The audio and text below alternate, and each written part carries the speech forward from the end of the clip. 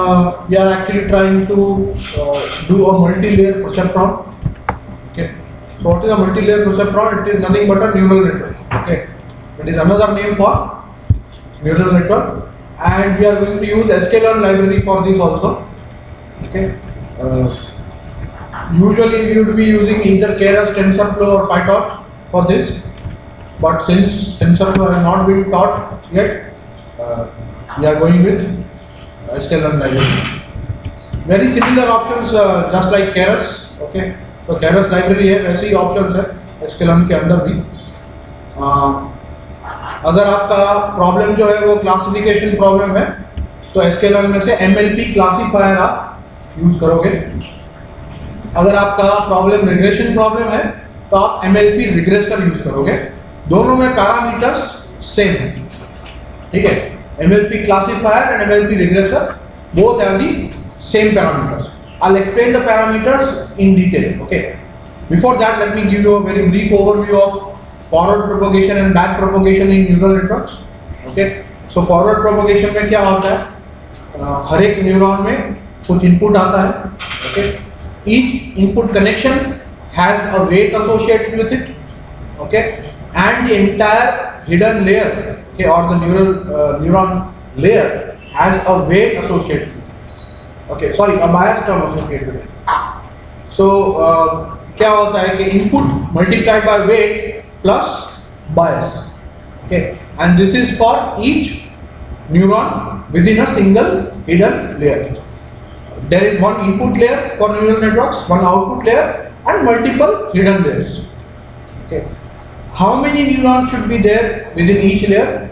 That is for us to decide and that is for us to determine through experimentation. Okay. और हमको बहुत सारे experiment करने पड़ेंगे। अलग अलग नंबर ऑफ़ हिडन लेयर्स रखने पड़ेंगे। अलग अलग नंबर ऑफ़ न्यूरॉन्स रखने पड़ेंगे। और जिस आर्किटेक्चर में जिस स्ट्रक्चर में सबसे ज़्यादा एक्यूरेसी आती है, वो हम लास्ट में सिलेक्ट करेंगे। ओके और वो हमारा मॉडल जो है, वो सेव करेंगे। Okay the model architecture that gives us the highest accuracy we will save that model for future use. Okay? So now all these all the weight terms associated with each incoming connection and the bias term associated with each layer these are known as parameters. Okay? And these parameters are learned by the network तो learning कैसे होता है? तो ये parameter की values जो है वो अपडेट होती है। इस हिसाब से हमारा न्यूरल नेटवर्क जो है वो लर्न करेगा। लर्न टू क्लासीफाई और learn to predict regression value so you have parameters okay weight parameters bias parameters then you have hyper parameters okay so number of hidden layers हर एक layer में कितने neuron होने चाहिए okay then learning rate मतलब कितना जल्दी हमारा parameter और वेट और बायस जो है अपडेट करना है। कितनी मार्जिन से अपडेट करना है ओके बहुत जल्दी जल्दी अपडेट करना है तो हमारा लर्निंग रेट हाई है। अगर धीरे धीरे अपडेट करना है तो हमारा लर्निंग रेट लो तो लर्निंग रेट कितना रखना है? ये भी एक हाइपर पैरामीटर है। ठीक है? फिर एक्टिवेशन फ़ंक्शन कौन सा यूज़ करना है? तो एक्टिवेशन फ़ंक्शन में क्या होता है? जो हमारा इनपुट आया weight multiplied by input plus bias this is input to a activation function फिर एक्टिवेशन फ़ंक्शन डिटरमाइन करेगा कि इस चीज़ का आउटपुट क्या होगा। ओके मतलब हर एक न्यूरॉन का आउटपुट क्या होगा। So activation function is applied at each neuron one of the most common activation functions is the segment linear activation function. Okay? Input equals to output. That means linear activation function.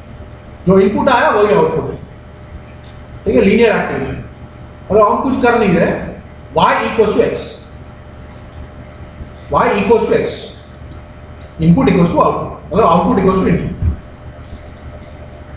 that is linear activation function then you have ReLU activation function okay rectified linear unit तो ReLU activation function का formula होता है y equal to maximum of zero and x y equals to maximum of 0 and x. That means x अगर negative है तो zero x x में maximum value कौन सी रहेगी? Zero therefore, y will be equals to zero तो अगर x negative है तो y ज़ीरो रहेगा। x अगर पॉजिटिव है तो y इक्वल्स टू x हो जाएगा। तो लीनियर फ़ंक्शन जैसा ही हो जाएगा। So this is a rectified linear मतलब नेगेटिव वैल्यूज़ को हम रेक्टिफाई कर okay? तो ये हो गया रेल एक्टिवेशन फ़ंक्शन वैसे सिग्मॉइड है h एक्टिवेशन फ़ंक्शन है, लीकी रेलू है, ठीक है, सॉफ्ट मैक्स एक्टिवेशन फ़ंक्शन है। तो ये अलग अलग टाइप के एक्टिवेशन फ़ंक्शन है जो न्यूरॉन्स में अप्लाई किए जाते हैं, ताकि हमको आउटपुट पता पड़ सके डिपेंडिंग ऑन दी ये हो गया फॉरवर्ड प्रोपोगेशन तो फॉरवर्ड प्रोपोगेशन में क्या होता है? इनपुट आता है इनपुट लेयर में इनपुट लेयर से हिडन लेयर में जाता है एक्टिवेशन फ़ंक्शन अप्लाई किया जाता है। जो इडन लेयर का आउटपुट है that becomes the input for the next hidden layer okay वापस से एक्टिवेशन फ़ंक्शन अप्लाई किए जाते हैं। So on and on until output layer तो आउटपुट लेयर में एक्टिवेशन फ़ंक्शन अप्लाई किया जाएगा और हमको या तो क्लास मिलेगा as a result zero one या फिर हमको एक कंटिन्यूस वैल्यू मिलेगी। Zero point six five four zero point one two so between zero and one और any other real value depending on the type of problem okay usually hidden layer जो होते हैं, उसमें एक्टिवेशन फ़ंक्शन आजकल तो रेलू ही use किया जाता है। ठीक है? रेलू या लीकी रेलू यूज़ किया जाता है। और आउटपुट लेयर जो है, उसमें एक्टिवेशन फ़ंक्शन डिपेंड करेगा कि आपका टाइप ऑफ़ प्रॉब्लम क्या है। अगर आपका रिग्रेशन प्रॉब्लम है तो लास्ट लेयर जो है आउटपुट लेयर जो है, उसमें लीनियर एक्टिवेशन फ़ंक्शन रहता है। ओके अगर आपका क्लासिफिकेशन प्रॉब्लम है तो उसमें भी अगर आपका टू क्लास क्लासिफिकेशन प्रॉब्लम है तो आपका आउटपुट लेयर में एक्टिवेशन फ़ंक्शन रहेगा, वो या तो सिग्मॉइड होगा या टैनेट होगा, ठीक है? अगर आपका मल्टी क्लास क्लासिफिकेशन प्रॉब्लम है तो आउटपुट लेयर में एक्टिवेशन फ़ंक्शन आपका रहेगा सॉफ्ट मैक्स ठीक है? तो ये हो गया फॉरवर्ड प्रोपोगेशन बैक प्रोपोगेशन में क्या होगा कि आप ग्रेडियंट डिसेंट एल्गोरिथम अप्लाई करोगे which is one of the optimizer algorithms okay optimization algorithm या ऑप्टिमाइजर एल्गोरिथम या सॉल्वर एल्गोरिथम आप बोल सकते हो ठीक है? तो gradient descent which is one of the solver algorithm one of the optimizers is used to calculate gradients on the loss function. तो अभी loss function क्या है? Loss function मतलब आप actual value और predicted predicted value में difference क्या है? That is your loss function. उसका डेरिवेटिव कैलकुलेट किया जाता है, वगैरह वगैरह। कैलकुलेशन किया जाता है मैथमेटिक्स अप्लाई किया जाता है। और पैरामीटर्स जो है वेट पैरामीटर्स और बायस पैरामीटर्स ये अपडेट किए जाते हैं। ठीक है? And starting from the last layer we go until the first layer input layer तो सारे सभी लेयर्स के पैरामीटर्स अपडेट किए जाते हैं। This is back propagation optimizers अलग अलग हैं। You have gradient descent, you have stochastic gradient descent, you have adam optimizer, you have rms prop okay, you have adagrad, so on. Many solvers, many optimizers. Clear?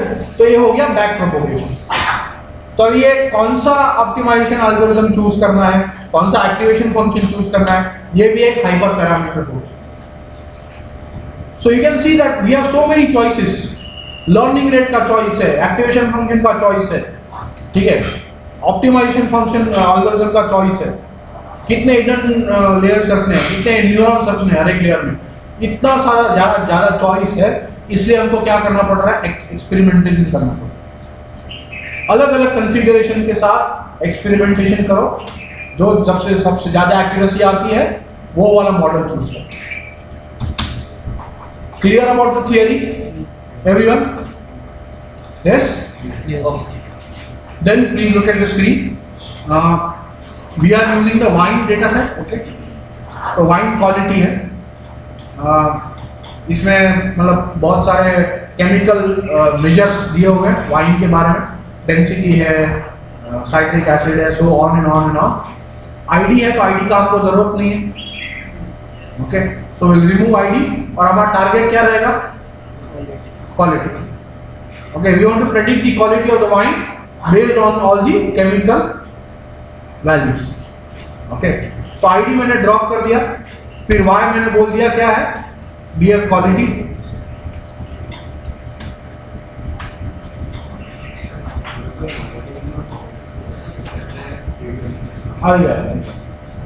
कोई बात नहीं बोल रही तुम्हें form कर लो। बोला बे minute bay minute okay so from sklearn.neural network i imported mnp classifier.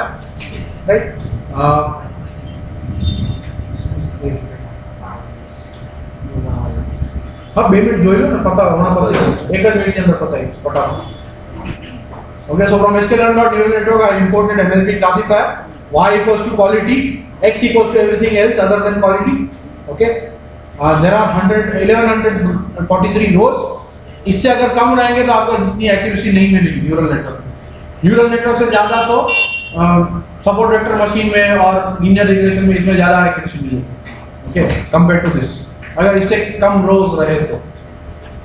So for neural networks बड़ा डेटा सेट रखो। Okay so now I have created model model equals to MLP classifier solver equals to stochastic gradient descent मतलब optimizer function यहाँ पे आप equals to atom भी रख सकते हो। ठीक है? हिडन लेयर साइज़ तो पहला हिडन लेयर है, उसमें 16 न्यूरॉन चाहिए। दूसरा हिडन लेयर है, उसमें 8 न्यूरॉन चाहिए। इनपुट लेयर का साइज़ आउटपुट लेयर का साइज़ ये खुद डिसाइड कर लेता है अपने हिसाब से। हमको डिसाइड करने की ज़रूरत नहीं है। कैरस में ऐसा नहीं है। कैरस लाइब्रेरी है, उसमें अलग से करना पड़ता है। ठीक है? रैंडम स्टेट भूल जाओ। इनिशियल लर्निंग रेट हमने 0.005 रखा है। लर्निंग रेट अडेप्टिव रखा है, इसका मतलब ये है कि अगर मल्टीपल इटरेशंस या एपॉक्स तब तक हमारा वैलिडेशन एक्यूरेसी इंप्रूव नहीं होता तो हमारा लर्निंग रेट कम कर दिया जाए okay that is why it is kept as adaptive. You can keep this as constant also. Then verbose equals to true मतलब हर एक इटरेशन का डिटेल आपको बताएगा ट्रेनिंग का। अगर ये फॉल्स होगा तो डायरेक्ट रिज़ल्ट बता देगा ठीक है? वैलिडेशन फ्रैक्शन इक्वल्स टू 0.1 मतलब पूरे डेटा सेट में 1143 रोज है, उसमें से 10 परसेंट मतलब 143 rows you have to keep as validation data set okay and early stopping equals to true मतलब अगर 10 एपॉक तक आपका एक्यूरेसी इंप्रूव नहीं होता 10 या 20 एपॉक तक okay then you stop the training training accuracy बढ़ते जा रहा है वैलिडेशन एक्यूरेसी इंप्रूव नहीं हो रहा है। In that case stop early why otherwise overfitting will take place okay? So, all of these parameters are kept in my model. Then i'm doing model dot fit, x and y. Okay? तो हर एक iteration में क्या loss आ रहा है? क्या validation accuracy है, सब हमको बता रहा है। ठीक है? ये सारे पैरामीटर्स अलग अलग ट्राई करके देख लिया मैंने। ठीक है? मॉडल टू क्रिएट किया, फिर उसका इटरेशन किया लॉस वगैरह देखा। फिर मॉडल थ्री क्रिएट किया, ठीक है? अलग अलग मॉडल मैंने ट्राई कर लिया लर्निंग रेट अलग अलग ट्राई किया। बहुत सारे एक्सपेरिमेंटेशन आपको करने पड़ेंगे। ये सारे पैरामीटर्स एमएलपी क्लासिफायर के डॉक्यूमेंटेशन में अवेलेबल है। Now what you can do is you can plot a loss curve तो matplotlib.pyplot से plt इंपोर्ट करो okay, import matplotlib.pyplot as plt then you plt.plot model.loss underscore curve तो loss जो है हमारा, वो कैसे मूव कर रहा है, ये हमको दिखा देगा। इसमें क्या हो रहा है कि धड़ाम से लॉस कम हो रहा है, पाँच इटरेशन के अंदर अंदर बाकी 80 इटरेशन तक लॉस कांस्टेंट है। लॉस इंप्रूव ही नहीं हो रहा। That means our model is no longer learning after the fifth iteration this shows that our learning rate is too high okay? This shows that our learning rate is too high. तो थोड़ा learning rate कम करना पड़ेगा अलग अलग parameters थोड़े change करने पड़ेंगे।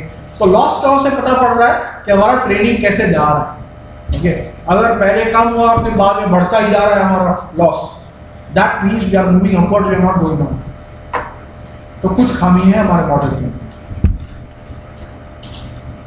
ठीक है? अलग अलग ट्राई करके देख लो। तो यहाँ पे देखो लॉस का कैसा है कि पहले कम हुआ और फिर थोड़ा और कम हुआ और फिर बाद में थोड़ा थोड़ा धीरे धीरे धीरे कम होता है तो this is a better learning curve then this